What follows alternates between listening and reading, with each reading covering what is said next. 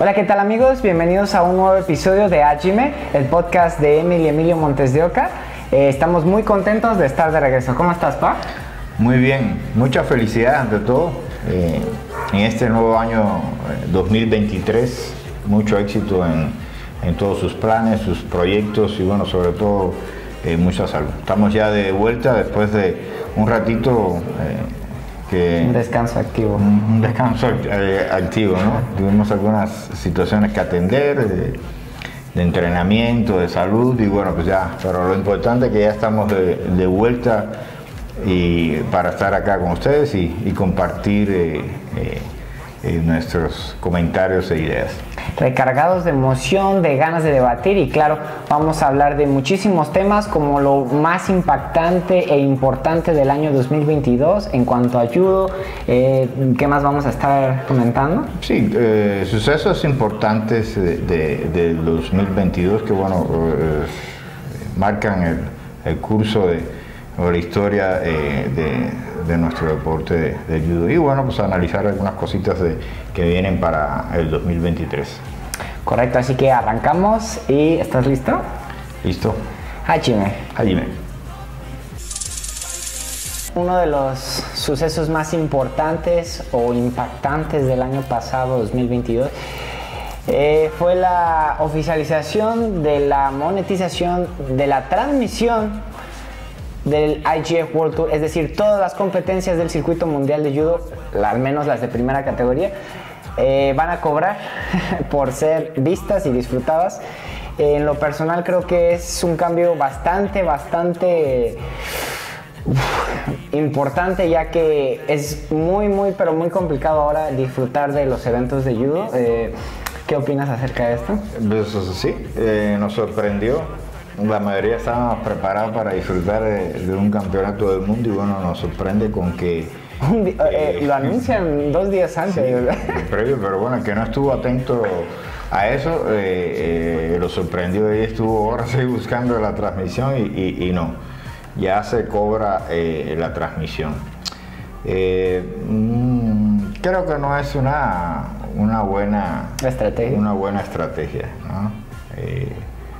eh, nuestro deporte, a pesar de que es un deporte que tiene mucha popularidad y se practica en, todo el mundo, eh, hay países que, eh, su situación económica no, no permite poder hacer este tipo de, de pagos ¿no? para poder, probablemente algunos sí, otros no, pero bueno, yo pienso que bueno, nuestro deporte debe seguir eh, difundiéndose de esa manera. Ha tenido un crecimiento y un auge eh, extraordinario y, pienso que, que, no es, que es un error, sí, es un error. Tal vez un poco más adelante, eh, pero, pero no, así son las, la, situación.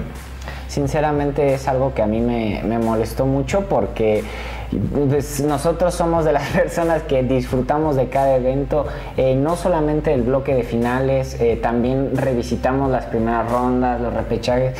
Eh, a mí en lo personal me gusta mucho si un atleta incluso perdió y no llegó al, al bloque final, ver sus combates.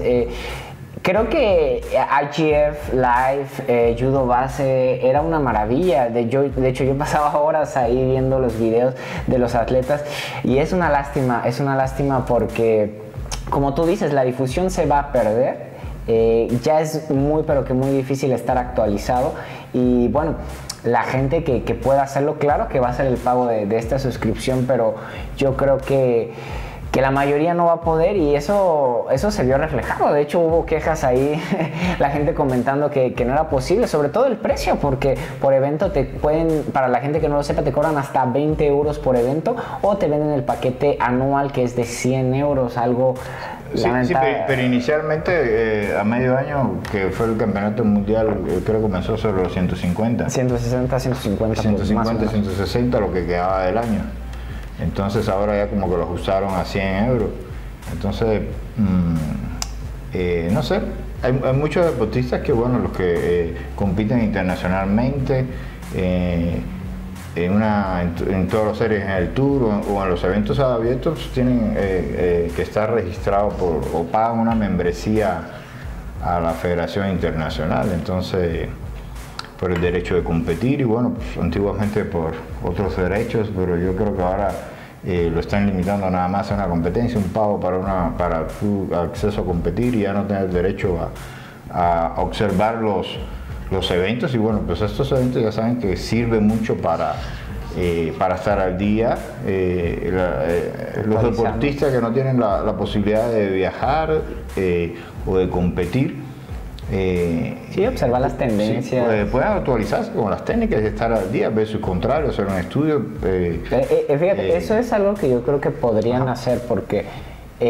hay, Judo Base, HF, toda esta serie de, videos también era una herramienta para tú como competidor del, del circuito mundial, estudiabas a tu rival. Es decir, te tocaba alguien con el que no habías tenido, pues ahora sí que el honor de, luchar con él, de haber competido con él, te metías a su perfil y estaban combates previos, su experiencia.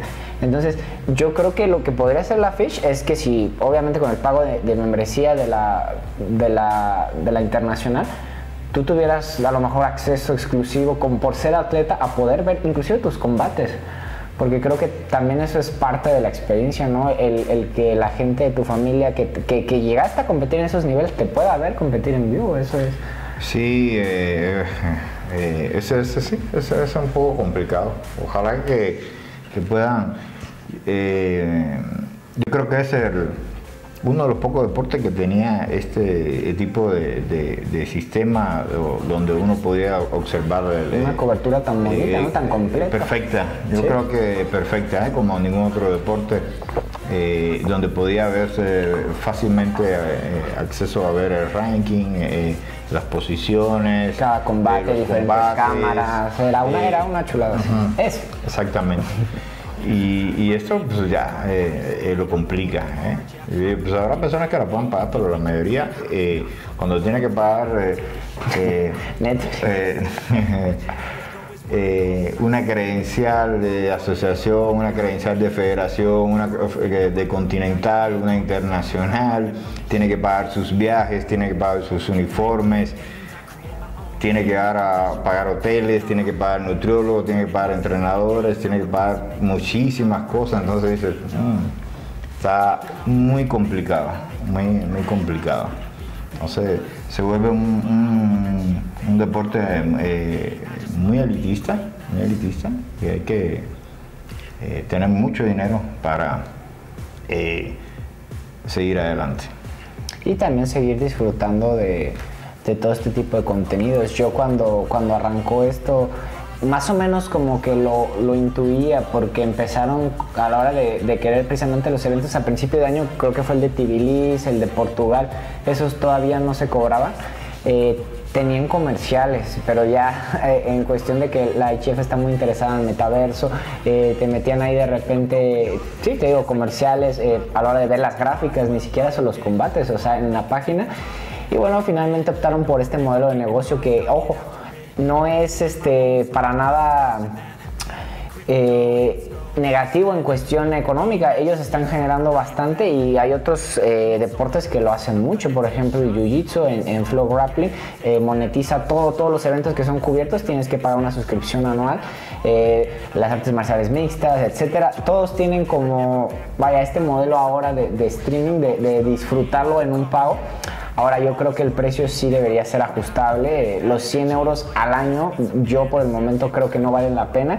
Sobre todo en el sentido porque no te ofrecen un cambio significativo en la experiencia. De hecho, si tú entras a IGF Live, eh, en el momento que es la competencia puedes disfrutar algunos combates. Es decir, ves el, tatami comentado, que es el que se va cambiando.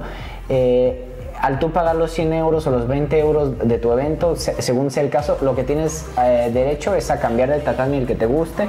Y también en judo base puedes ver la, repetición, es decir, cualquier combate que tú gustes, eh, etcétera creo que no es un cambio significativo, creo que deben eh, cambiar un poco la cuestión del precio o que se pueda de alguna manera, por ejemplo, entre un club, entre un grupo de amigos, pagan la suscripción, que ambos que varios puedan disfrutar de la cuenta porque es, exclusivo de una cuenta y cuando uno entra el otro no puede entrar. Exacto, eh, tienen que juntarse en una casa para verlo. Ah, También vénganse al patio a verlo.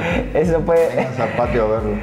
Eh, sí, entre todos eso puede ser una opción, pero al, al no ser así creo que como tú dices, es una estrategia equivocada y esperemos que, haya noticias de cambios en, este sentido. Eh, lo poco yo que pude ver de este campeonato del mundo se me hizo eh, increíble. Eh, recordemos que este también fue y fue el primer campeonato del mundo cerrado por clasificación. Solamente tuvieron acceso a los primeros 100 del mundo y creo que fue bastante, bastante bonito. Hubiera sido genial que todo el mundo pudiera disfrutarlo. Pero bueno, es la situación que, hay y esperemos que, cambie un poquito. Sí, altísimo, altísimo el, nivel del campeonato mundial, ¿no? Con esa nueva eh, reglamentación que, participan o tienen el derecho a participar los primeros 100 eh, en, el ranking, ¿sí? Por ahí México estaba inscrito, pero bueno, al final hubo ahí detalles que desconocemos y bueno, no. Complicaciones. Sí, no, no participar. Es muy. Lamentable, porque Lamentablemente, muy, muy malo, ¿no? no complica su clasificación. Sí, muchos deportistas ya estaban todos preparados y, y, listos, y bueno, pues al final hubo una cancelación ahí previo al evento, y bueno, pues así son eh, las cosas. Y bueno, un, evento de súper, súper eh, nivel. También. Con algunas figuras que eh, nuevas que destacan, eh, no tan nuevas, pero bueno, no de los de los eh, más ranqueados que, también destacan con, muy buen judo. Muchos logros, combates buenísimos, y pones ni se diga, y bueno, esperemos que más adelante podamos seguir disfrutando de este tipo de nivel porque lo poco que vi, te digo, algunas rondas y las finales, claro, ya en repetición con creadores de contenido, compañeros de, YouTube. Eh, eh, altísimo nivel y cada vez eh, más evolucionado. Yo vi una brutal evolución en el combate de solo. En Neguasa cada vez está el judoka cada vez es más completo.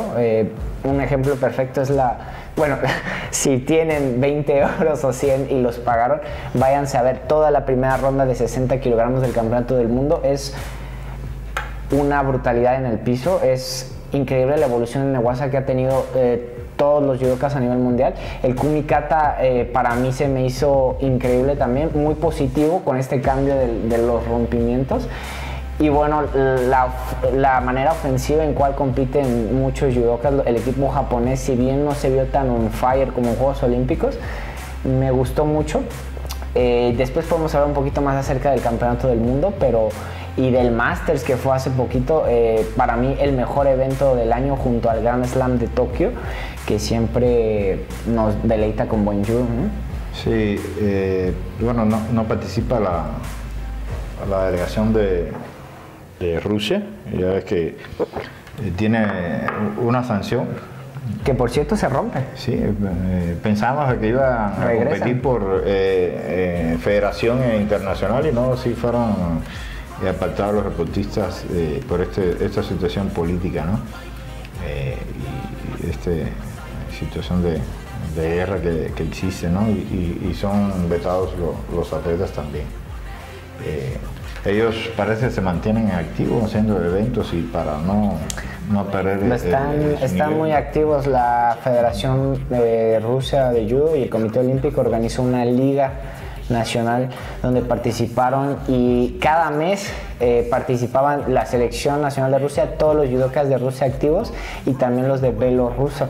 Eh, es una liga que tuvo al año eh, alrededor de ocho eventos se vio un altísimo nivel de judo. Si tienen oportunidad, véanlo, está en la página oficial de la Federación Rusa de Judo, pero ellos están eh, listos para regresar más fuertes que nunca. Eh, bajaron muchísimo en el ranking, pero me da mucho gusto que, que visité el ranking a principios de este año, es decir, hace unos días, y ya salen oficialmente como Rusia y están listos para regresar y esperemos verlos en acción porque también es, es una gran nación que siempre trae emoción. Siempre le ponen, como dicen, le ponen sabor a, la fiesta. Claro que sí. es una, una, federación que, bueno, por supuesto se extraña por el alto nivel que tienen sus deportistas y, bueno, el gran crecimiento que tiene en, ahora en lo que es el grupo femenil, que, va levantando. Sí, no, no vamos a tardar en, en ver eh, varias campeonas, muchas, muchas campeonas ahí también. Y bueno, ya que hablamos de este campeonato del mundo, eh, una de las cosas más destacadas fue eh, la increíble actuación de los judokas americanos. Cuba vuelve a tener un campeón del mundo varonil. Sí. Andy Granda, que sorprende a mucho, ¿no? Después de, tantos años luchando, se convierte en campeón del mundo una final contra el japonés Saito. Contra el favorito. Contra el favorito. pero bueno, eh, Andy ya tiene mucha experiencia y bueno, pues han continuado ellos con ese entrenamiento en Europa que bueno, lo ha sido eh, muy provechoso, una destacada actuación. Y bueno, ¿qué me dices de, Rafaela? leyenda absoluta de Brasil. Rafaela, ya lo habíamos mencionado en un episodio en, el episodio de Recordando a los Grandes, cuando hablamos de todo su palmarés, es de las pocas judocas que ha ganado absolutamente todo, que no se cansa de ganar y que cuando ganó la misma Confederación Brasileña de Judo publicó cuántas veces se necesita demostrar que es una leyenda. Es increíble lo que hizo. Eh, esa, veterana, Sí, y, se le ve muy bien. Parece que tiene dos, tres, eh, cuatro aires. Eh, ha pasado de todo, momentos buenos, momentos malos. Recordemos su suspensión, recordemos sus glorias en que campeona del mundo en su casa. Es, es, increíble. Y, esta actuación fue, fue discreta de, de, Rafaela, fue cocinando las, las, rondas, fue avanzando muchas eh, amonestaciones, pero cada que atacaba y marcaba era muy precisa. Y la verdad que, que es, es, una referente. Sí, se vio muy experimentada, muy experimentada. Fue de, de menos a más eh, eh, en los combates y asegurando los combates con esa calma, esa tranquilidad que la, que la, que la caracterice y bueno, cuando tiene que ser agresiva, esa súper agresiva, pero se ve muy bien, muy, muy bien, muy bien. y, se convierte eh, nuevamente en campeona del mundo. Desde el año, fue la última vez que lo hizo, fue en el año 2013 precisamente en Brasil y, y fíjense ustedes cuántos años tuvieron que pasar para que pudiera eh, vaya a tener esa gloria, ¿no? Recordemos que también fue eh, campeona eh, olímpica, pero todo ese proceso es, es, increíble. También lo mismo para, te comentaba de Andy, es, es, es, algo que, que, tarda alrededor de 10 años su, su, proceso. Sí, Andy ha ido ha pasado por varias divisiones de, de, peso y bueno, pues esta eh, categoría le, ha llegado, como le ha caído ahí el, Fíjate anillo al dedo. Y, cada vez lo vemos más experimentado. más sereno, el despertar de Andy en esta división. ¿Recuerdas aquel mundial que hicieron abierto en, Marruecos? El, que se va al punto de oro con Teddy. Para mí ese fue un punto de, eh, inflexión para, para Andy. Y, como tú dices, eh, el estar concentrado en Europa se le ve como un judoka diferente para mí. Es, está a otro nivel hablando de sus, de sus rivales, como por ejemplo se le ve a, Rafaela. Y se viene este 2023 eh, cargado de combates para ellos dos. Yo espero, eh, para mí, que quiero ver eh, un Andy Teddy, por ejemplo. Me gustaría mucho. Esa revancha. Fue muy cerrada, pero ahora con un Andy campeón del mundo es, es, muy interesante. Y del lado de, de Rafael a mí me encantaría, me encantaría ver por los estilos eh, que Rafaela se enfrente a Daría, por ejemplo. Tiene muchos combates con muchas jóvenes, por ejemplo, la campeona olímpica Jakova de, Kosovo, y, se vienen muy buenos combates en, este año 2023 para ellos dos, que, para mí fueron de lo más destacado. Otra de las, pues, eh, Takato para mí fue también arrasante, hablamos de de la técnica que tiene tan depurada y que ya es tetracampeón del mundo. Sí, su cuarto campeonato del mundo. Creo que también tiene un bronce por ahí, ¿no? Uno o creo que tiene un bronce. Tiene un bronce olímpico también y también es campeón olímpico, recordemos eso. Él tuvo una sequía, se hace campeón en, en Río, precisamente donde Rafaela también se hace en 2013 y tiene un bachecito en, cuanto a campeonatos del mundo. En el, 2014 y 2015 ni siquiera fue seleccionado por cuestiones disciplinarias. 16 no hubo, entonces tuvo que pasar tres años para que volviera a ser campeón. gana dos campeonatos seguidos. Ya no, no en Japón no gana. no, no, en Japón no ganó. Él gana en Río, en Japón, gana en Budapest al año siguiente lo hace en Azerbaiyán, en Bakú. Luego, eh, él no participa en, el campeonato de, Budapest preolímpicos. Y luego, obviamente, en, el Tokio también queda quinto, de hecho. Sí, también se ve muy maduro. Eh, muy maduro ya, un atleta que tiene eh, mucha experiencia, que, anteriormente, de momento, le ganaba la, eh, la emoción y, quería hacer eh, cosas muy espectaculares y bueno, ya de, los pasados Juegos Olímpicos lo vemos eh, muy concentrado, muy seguro, con cero error, sin dar oportunidad a nada y, se convierte en, campeón del mundo. Tiene una final con esta atleta que... Con Jan, que venía matando la división y lo y, le gana de una manera muy fácil.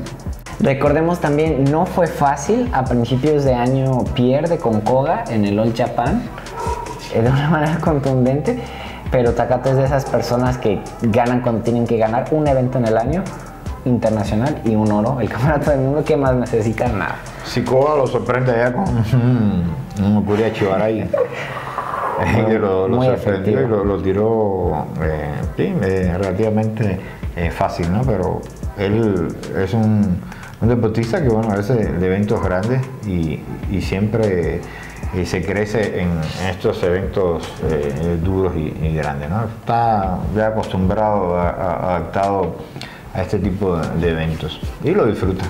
Claro que sí, es, es una de las lástima que no no pudo estar en, el Grand Slam de Tokio, sale al igual que Abe por lesión. Eh, vaya, algo que, sin duda marca también este año de manera eh, triste es increíblemente el retiro de, Ono que hace oficial por su, por su cuenta de Instagram. Y, es, el Samurai Ono.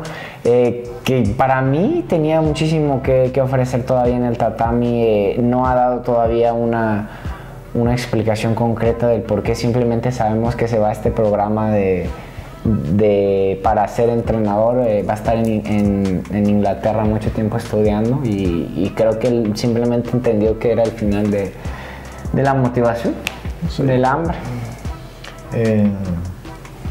No ha dicho nada, pero bueno, yo creo que, Como siempre. sí, cada, cada atleta es un, es un deportista muy callado, ¿no? Eh, muy poco expresivo eh, como otros, ¿no? Eh, yo pienso que bueno, cada deportista sabe o, aprende cuando ya es el, el momento, ¿no?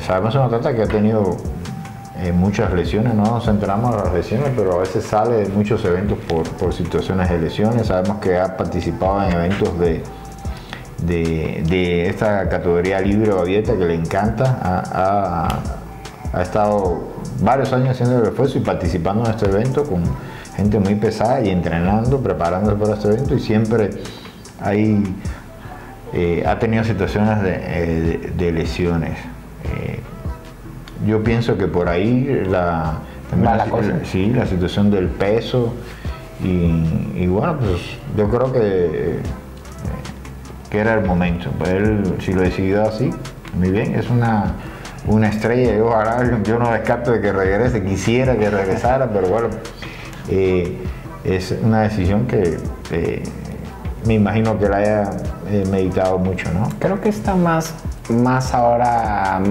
eh, vaya, más normalizado, está, se podría decir, de moda entre grandes atletas el retirarse en la cima, ¿no? No esperar a, competir y ver tu decadencia, ¿no? Y lo que se habla de uno, que en efecto muchos entrevistas, artículos que he leído es que Ono es una persona solitaria, es una persona eh, callada, como tú mencionas, y es una persona que también pasó por muchas cosas. Eh, se habla de que tuvo sus baches. Eh, un entrenador por ahí de Tenre comentaba eso y decía que, que él tuvo sus momentos. donde no, no, quería ya seguir con el judo y, y eso fue un poquito después de, de esa pausa que tuvo después de que se hace campeón olímpico en Río, que se toma un tiempo para terminar sus estudios universitarios bien, su tesis, eh, eh, no encontraba motivación, fue cuando por primera vez se le vio en los Juegos Asiáticos, eh, en eventos un poquito alejados de lo que era el máximo nivel del judo. Bueno, los Juegos Asiáticos son de muy buen nivel, pero no, no fue al campeonato del, nivel. no fue al campeonato del mundo. Y, él encontraba o mencionaba que ya no lo motivaba una medalla específica, no lo motivaba inclusive eh, ganar el, el, All Japan por el hecho de tener la triple corona, que es campeonato del mundo, campeonato olímpico y, ganar el abierto de Japón, que, que, muy pocos lo han logrado. Lo que lo motivaba él era tener grandes victorias, él decía el, ser contundente, mostrar su gran judo. Y bueno, creo que lo, lo ha hecho a través de estos años, eh, pero como, como tú mencionas, las lesiones, eh, situaciones personales y, qué bueno que para mí es, es, es bonito que, que, se retire con esta aura de invencibilidad. Eh, no fue un invicto por completo porque nadie en el judo es invicto absoluto, ni Teddy, ni, ni él lo han sido, ni, ni los más dominantes pero en los últimos años sí es verdad que no tuvo derrotas casi a, no ser que fueran japoneses. Y, me gusta verlo así también eh, estoy emocionado de verlo como entrenador. Creo que tiene mucho que, que puede aportar. Por supuesto la gran técnica y, y todo lo, que demostró esa, esa garra un atleta extremadamente duro que se paraba ahí a, pelear y, con esa eh, técnica limpia espectacular. Eh, por supuesto que como entrenador eh, tiene mucho, mucho que aportar, ¿no? seguir enseñando ese, ese, gran judo, transmitir sus experiencias a, las, nuevas generaciones. Pues, si, te pones a pensar que qué cañón, o sea, qué impresionante que cómo trabajaba. Es decir, o no, en algún momento va a ser entrenador de la selección nacional. Y te pones a pensar, eh, eh, Shinohara, Inoue, Suzuki, Evinuma ya está preparándose para tomar el equipo de París a, Los Ángeles y luego Ono, es decir, son grandes atletas, pero que además tienen sus estudios y se preparan para hacer un, rol de entrenador absolutamente profesional. ¿Qué, qué manera de trabajar también. Sí, es, es una, una, generación de, de, de impresionantes y bueno, por supuesto que van a ser eh, eh, una, una, gran generación de, de, entrenadores. Se están preparando, pero tienen eh, la base, la mejor técnica del mundo, la experiencia en todo tipo de competencias eh, Juegos Olímpicos Mundiales, entonces eh, con su preparación teórica creo que van a cerrar, eh, va a ser muy, muy, muy duro, muy complicado. Y que también nos, manda un mensaje eso, yo te digo, me pongo a reflexionar que, que no importa si eres si no si eres Suzuki, si eres Karamaru, si eres Akimoto, Evinuma, Ono, para desenvolver tu rol de entrenador, tienes que hacer esa transición y tienes que prepararte. No basta solamente con ser, eh, vaya, un atleta destacado, legendario. Sí, no haber sido un atleta Por eso ellos son buenos entrenadores eh, Japón ya no deja ese, ese espacio que antiguamente sí existía por ahí, pero no, ya, ya se preparan con con antelación el, reemplazo se está preparando y, y, adquiriendo y adquiriendo este, tipo de, experiencia y, conociendo a, los atletas, a, sus atletas y a los atletas de, todo el mundo, ¿no? Ellos ya han hecho un, trabajo magnífico en, de, de estos dos últimos ciclos hacia acá. Y pues bueno, le deseamos lo mejor a uno en su retiro y lo recordamos con mucho cariño y admiración, leyenda absoluta.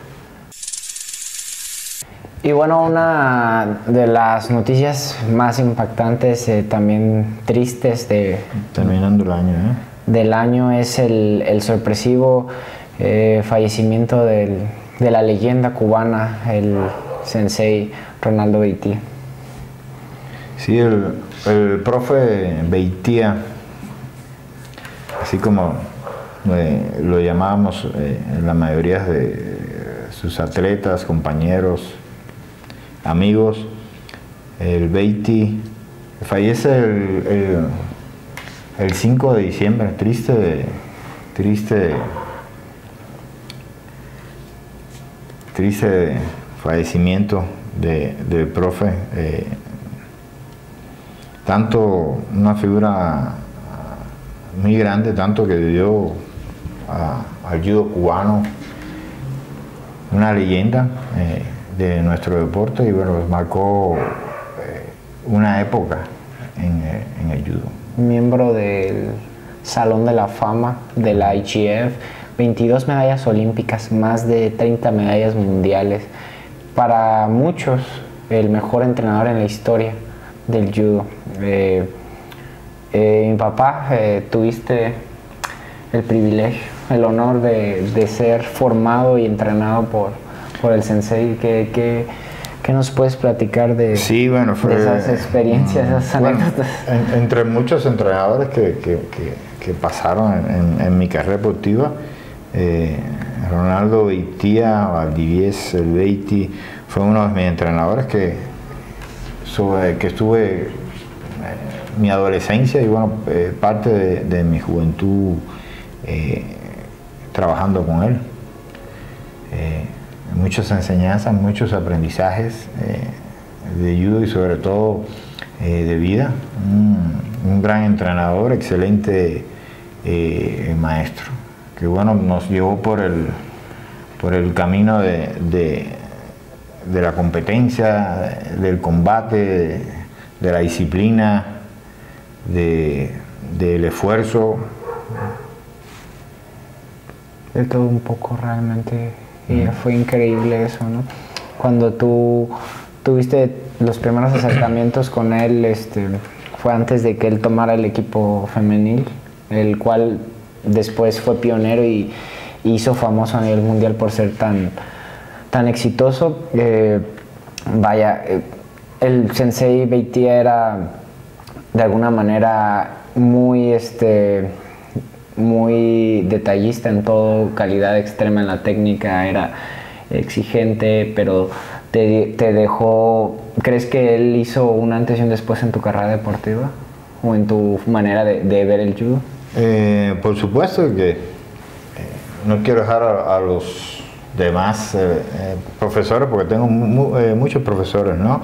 que pasaron mi carrera, pero él estuvo eh, eh, mucho tiempo en, en- en mi carrera y, y bueno, eh, le debo mucho, le debo mucho eh, en, en- todo, ¿no?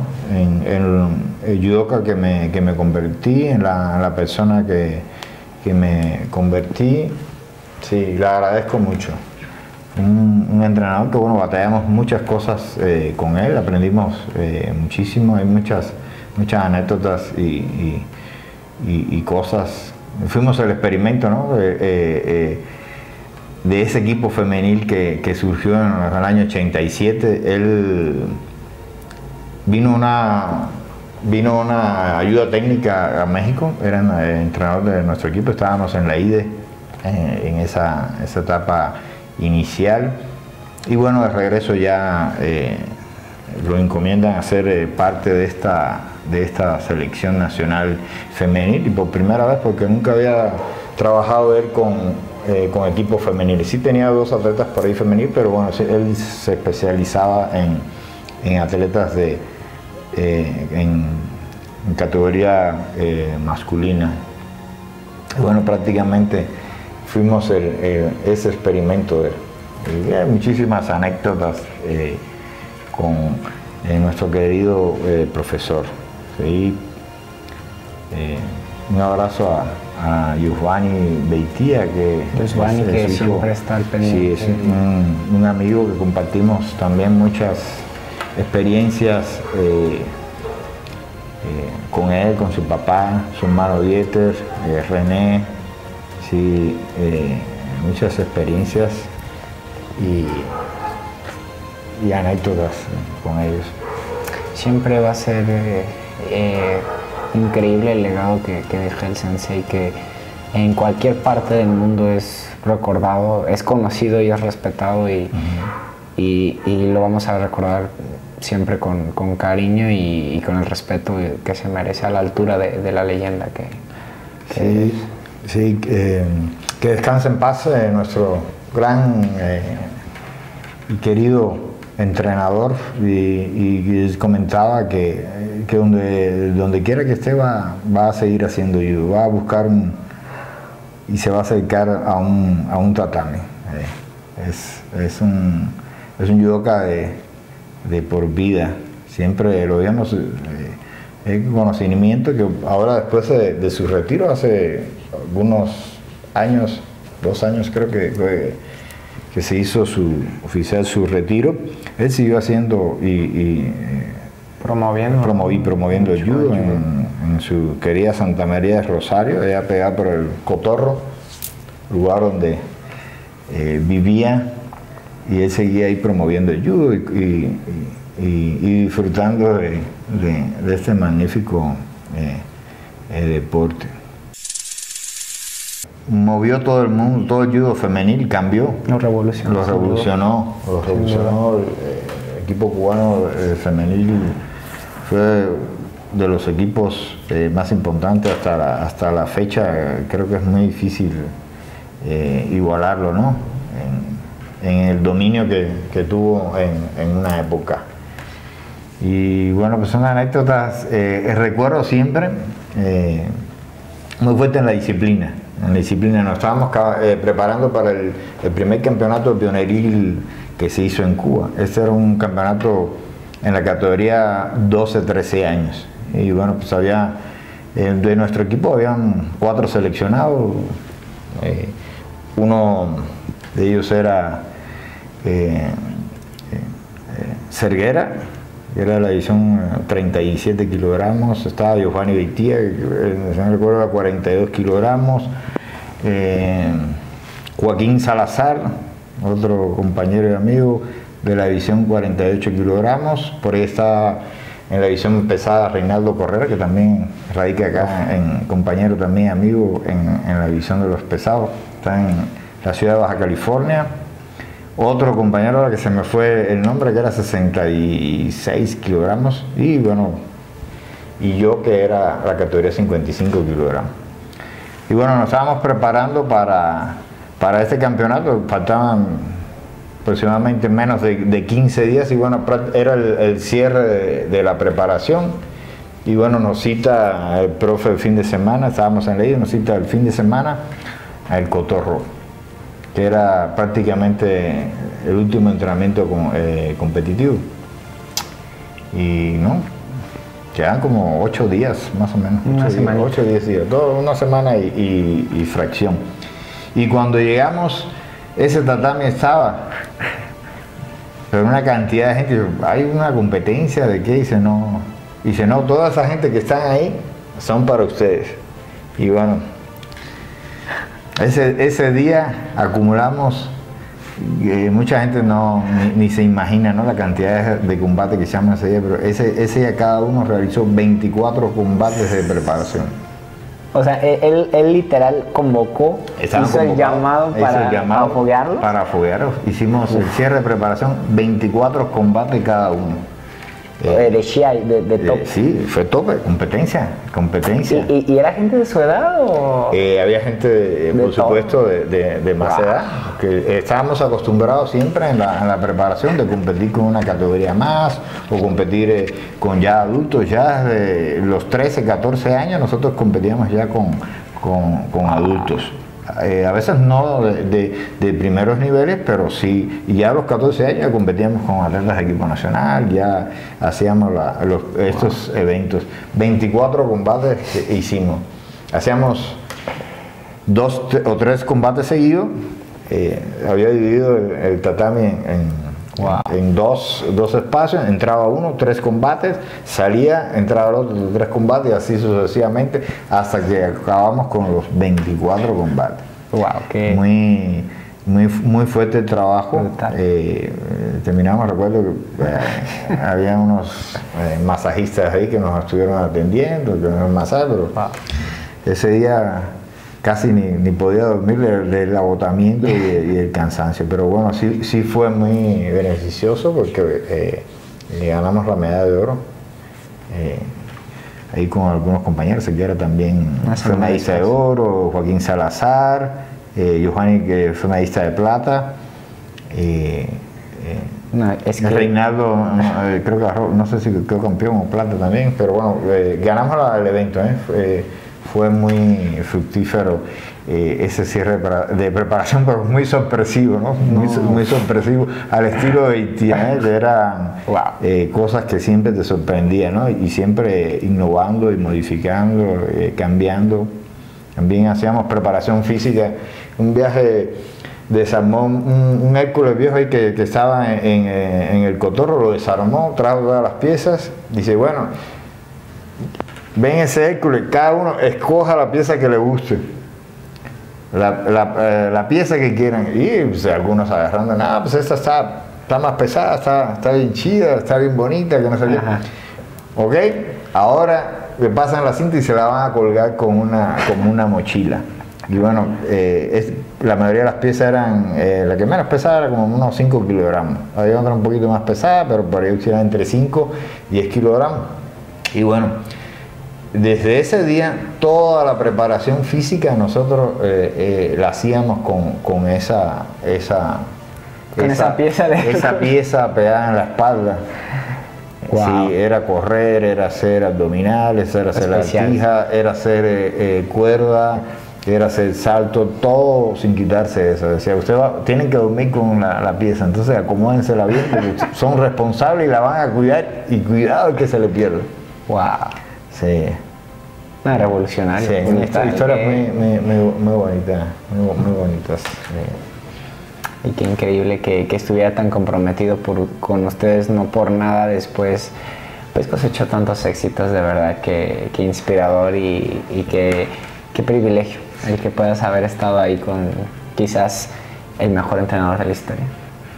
Sí, es un privilegio, realmente sí es un, privilegio, ¿no? Y lo, recuerdo con, mucho cariño y, agradezco todo, todo el aprendizaje de, vida que, me dio y la, y la fuerza para, para eh, hacer eh, lo que uno quiera. Y bueno, 2022 queda atrás. Este 2023 se viene recargado de, acción, de eventos. Eh, va a estar bueno. Sí, un año bastante cargado. Tenemos juegos centroamericanos, juegos panamericanos y bueno, todavía quedan los eh, algunos selectivos y clasificatorios para este evento. Y por supuesto que continúan los, los eventos clasificatorios para Juegos Olímpicos. Entonces es, eh, está súper lleno el, calendario. También, bueno, pues hay eventos eh, panamericanos para cadetes, eh, para juniors, para infantiles, todas las categorías, eventos también para incluso para veteranos. Y bueno, hay un montón también de, abiertos, eh, en muchos lugares, bueno, eventos que a veces no son tan, tan, tan abiertos porque los cierran Sí, una de las cosas, bueno, que hace rato que hablábamos de la Federación Internacional, eh, muy atinadamente que hizo cuando cerró este, eh, así en la clasificación al Campeonato del Mundo, los primeros 100 en el ranking, que bueno, eh, todos tipos de eventos que se han hecho continentales y abiertos, este tipo de son puntuales y bueno, para que tú quieras un ranking y algún día tenga alguna aspiración a, ser eh, representante de tu país o estar rankeado. Entonces, es importante eh, poder participar en este tipo de, eventos. Aparte, es, eh, desarrollo, desarrollo en el país, en, tu continente y en el mundo.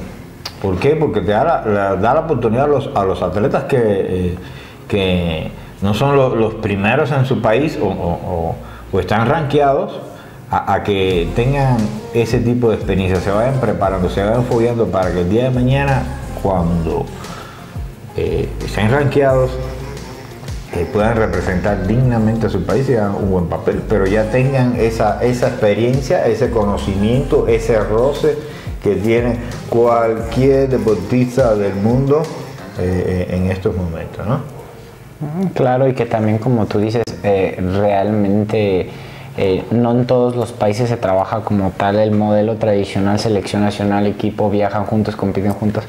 Eh, este país lo hace, pero creo que también hay otros eh, eh, países de aquí de América que les ha ido muy bien, inclusive algunos europeos que trabajan de manera individual, es gente que apuesta su club, su instituto, o hasta se puede decir que ellos mismos, su familia se financian un viaje, se foguean por su cuenta y la verdad que, que se ha visto muy, buenos eh, eh, progresos. Ejemplo, Maridi Vargas de Chile, o sea, la evolución que tuvo esa, esa muchacha no lo hubiera conseguido entrenando en el centro, con todo respeto, en el Centro Olímpico de Chile, ni mucho menos. Sin embargo, pues como tú dices, qué bueno que hay estos eventos porque no creo que nadie esté en contra de, de de esta libertad y esta, esta, vaya, estas oportunidades que tienes, ¿no? Al tú ser un atleta e, e ir y poder competir por ejemplo en el abierto de Bogotá, de, La Habana, de, los muchos que va a haber. Sí, recuerdo que anteriormente, ¿no? Eh, hace muchos años, eh, no, existía este tipo de, eventos, eran eventos eh,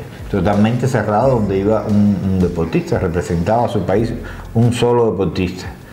Entonces, el día que ese deportista eh, se retiraba o, se lastimaba o cualquier situación que no, tenían que empezar otra vez a preparar el, que estaba atrás que no, no, había participado en eventos grandes, ¿no?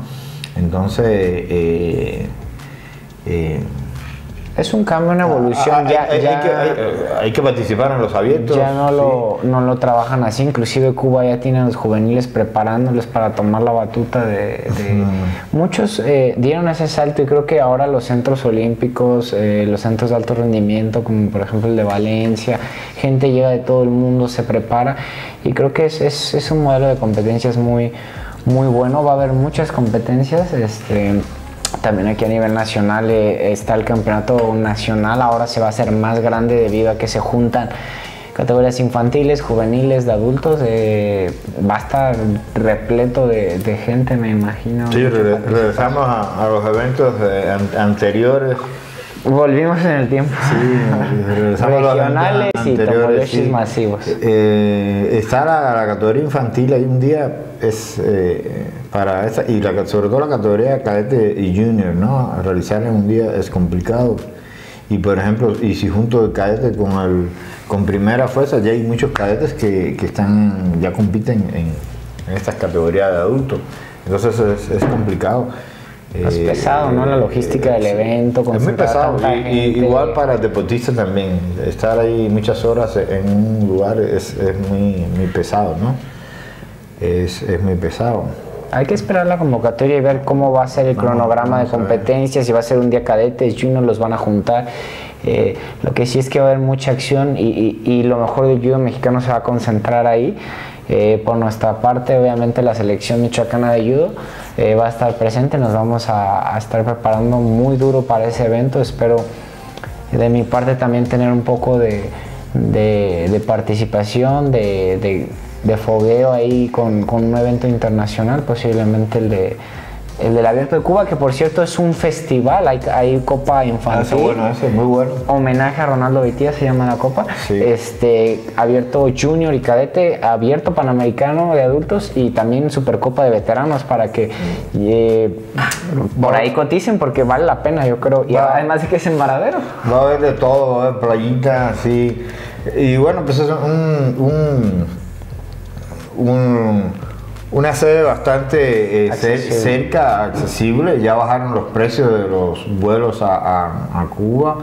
Entonces con tiempo hagan su, su, su compra de boleto, ¿no? Eh, es un evento abierto, no creo que tengan eh, que exista problema de ningún tipo, de categoría infantil, para que empiecen a desarrollarse en un evento internacional, los que quieran. Eh, cadete, junior, primera fuerza y hasta veterano. Ahí los compañeros que quieran ir a tirar una, canita por allá, que, hay mucho... Qué mejor objetivo, ¿no? Que Y, bueno, ojalá que que se animen, ¿no? Que tomen esta competencia que, es cerca, ¿no? Y, pueden desarrollar y, eh, cumplir eh, alguno de sus eh, objetivos. Ya que hablaste de, ya que mencionas estos objetivos que por cierto son muy buenos, creo que ahora... Empieza a calentar ya. ¿Qué, qué para pasa? Viento, para viento de Cuba. ojalá, ojalá. Este... Por lo menos para la playa, ¿eh? si no compito para la playa. Yo creo que para la playa todos están listos. Y para ver, la verdad, que no ha ido es una experiencia surreal. Esa playa. Eh, hablando de objetivos, como, como lo mencionaste, creo que a veces la gente necesita ese plus de, que haya competencias, ya sea según los objetivos que tengan nacionales, internacionales, eh, algo más serio, algo más recreativo. porque pasa mucho, ¿no? 2023, año nuevo, y la gente empieza como de, no, pues voy a, ahora sí voy a ir a entrenar, ahora sí voy a ser constante, ahora me voy a poner a dieta. Eh, ¿Qué pasa a veces con esas personas que, que vaya, se motivan, buscan, van y, y quieren cambiar, pero al final de cuentas pasan dos, tres semanas, un mes y, tienen como por desistir a, sus objetivos. ¿Cómo, ¿Cómo, crees que...? Sí, bueno, creo pues, eh, que, no hablamos en este caso de, atletas o, deportistas, ¿no? pasa con atletas que quieren regresar, que quieren comprometerse. pero bueno, principalmente en, personas que bueno, eh, se ponen un propósito y, realmente no han tenido o eh, han educado esa disciplina que la tiene un, deportista o, un atleta de, alto rendimiento. ¿no? Es, es, importante mantenerse firme, motivarse, eh, buscar eh, realmente las cosas que, los motiven para lograr un, objetivo o, culminar un proyecto. Pero por supuesto que tiene que ir muy de la mano de la, de la disciplina, de esa, de esa firmeza y, no, no, debilitarse, no sabotearse, empezarse a sabotear eh, uno mismo, acá decir, ayer, ayer hice eh, no sé cuántas regatillas, no sé cuántos, hoy no pasa nada hoy pasa, hoy mejor me quedo durmiendo, me levanto más tarde, realmente no, no tengo ganas de levantarme y sigue. Entonces, eh, hay que no, pues hay que... eso, es clave lo que dices porque normalmente uno busca la motivación y videos de motivación con millones de reproducciones y y yo también fui muy fan de la motivación en su momento, pero creo que es, es, importante eso que tú dices. Realmente no es tanto que a veces no estés motivado, es que no eres disciplinado. La motivación te sirve hasta un punto, es, es, es un arranque de energía, es un, un, shot que baja muy rápido. Tú puedes estar motivado un día y luego no, pero lo que hace la diferencia para que tú puedas en este caso, yo me refiero a los atletas, por ejemplo, gente que me ha dicho, ya quiero entrenar, ahora sí voy a regresar a entrenar ¿La disciplina? Es la disciplina y la disciplina no se adquiere de un día para otro, son eh, realmente son hábitos. Son hábitos, hay que, hay que educar, hay que formar la disciplina. Son conductas adquiridas y si tú quieres realmente como atleta o fuiste atleta o, eres atleta pero quieres corregir o ser más enfocado disciplinado, creo que número uno es eso, el comprometerte el hacer una, una, rutina que ya sea innegociable, el, el, ir a entrenar, el levantarme a tal hora, el no comer tal cosa, eh, poco a poco se van haciendo costumbre y no te cuesta ya tanto trabajo. Creo que eso es lo que yo, yo te puedo recomendar porque realmente hay días en los que no te vas a querer parar, pero tienes que hacerlo. Y esa es la diferencia al final de cuentas, creo, en cumplir o no esas metas que, te propongas este año nuevo. Y esa es una mentalidad que puedes adquirir este año nuevo.